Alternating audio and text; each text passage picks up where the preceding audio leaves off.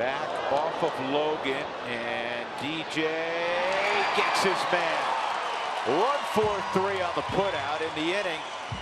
A base hit and a two-run home run from Jace Peterson has tightened things up considerably. It's now 4-3 Colorado going to the bottom of the eighth inning. Another terrific outing for Boone Logan.